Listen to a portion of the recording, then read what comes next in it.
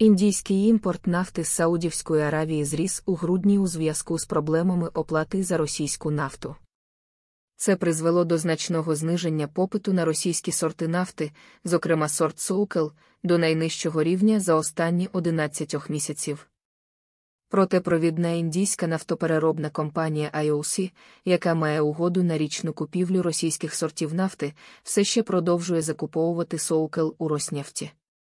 У грудні імпорт нафти з Росії в Індію скоротився на 22%, але не можна ще повністю виключати інтерес до сахалінського сорту Соукел, так як три нові вантажі цього сорту прямують до Індії, а ті, які не можна продати в Індію, спрямовуються до Китаю.